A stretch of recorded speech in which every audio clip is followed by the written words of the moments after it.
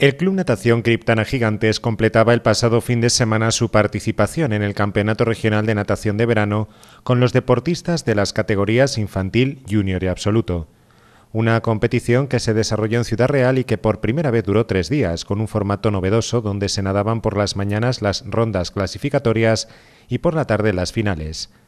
Un total de 29 clubes y 435 nadadores se dieron cita en este campeonato, siendo la representación criptanense de 21 nadadores, 8 chicos y 13 chicas. Y una vez más, la actuación de los locales fue más que meritoria, con la consecución de 16 medallas, 9 de oro, 4 de plata y 3 de bronce. En concreto, en chicas, Blanca Olivares se hizo con el oro en 50 libres y la plata en 100 libres. Lucía Mínguez con el oro en 50 y 100 braza y el bronce en 100 mariposa en categoría infantil y el oro en 50 braza en la categoría absoluta. Irene Herencia fue plata en 100 mariposa, Patricia Navarro oro en 50 y 100 libres, y el relevo absoluto femenino se hizo con el oro en 4 por 50 libres y el bronce en 4 por 100 libres.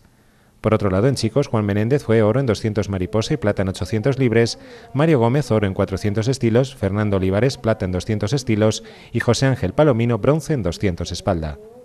Igualmente hay que destacar los oros absolutos conseguidos por Lucía Mínguez, Patricia Navarro y el relevo femenino, siendo las primeras de toda Castilla-La Mancha, así como a nivel nacional la consecución de una nueva marca mínima para los campeonatos nacionales de verano, lograda por Blanca Olivares Escribano en la prueba de 50 libres con un tiempo de 28.55, lo que le da acceso a participar en los nacionales junior de Sabadell, con lo que ya son seis los nadadores de Criptana Gigantes los que participarán en los campeonatos de este verano. Así pues, en la clasificación absoluta femenina se consiguió una más que merecida cuarta posición. En la masculina fueron duodécimos y en la conjunta se alzaron con el noveno puesto.